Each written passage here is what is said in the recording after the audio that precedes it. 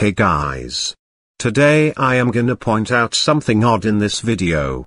Let's go. Let's count. Ready? Now, focus on the balloon colors. One, two, three, four, five, six. Notice anything odd? No? Well maybe this will tell you. yep. They almost stole all the 1 to 10 number blocks colors.